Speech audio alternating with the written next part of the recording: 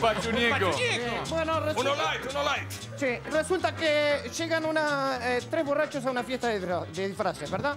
Llegan hacia la puerta y le dicen, señores, no puede pasar, dice el señor de seguridad. ¿Cómo no puedo pasar? Sí, no puede pasar. ¿Por qué no podemos pasar? Porque tiene que tener un disfraz. Perfecto, dice. El primer borracho sale a la esquina, va, se desnuda todo, se pone una hoja acá y de repente llega a la puerta y dice, señor, ¿y usted de qué está disfrazado? De Adán, pase, le dice. Muy bien. Muy bien, dice. Viene el segundo y dice, yo voy a hacer lo mismo, dijo. Se saca toda la ropa, agarra una teja de un techo y se la clava en el ano. Llega a la puerta del boliche y le dice, señor, ¿usted qué- de qué está disfrazado? Y yo estoy disfrazado de tejano. Perfecto, pase.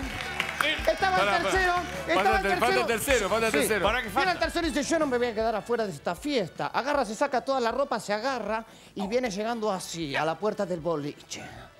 Lo agarra el patobica y le dice, discúlpeme, ¿y usted de qué está disfra- disfrazado? De refrán. ¿Cómo de refrán? Sí, más vale pájaro en mano que cien volando. Se gana-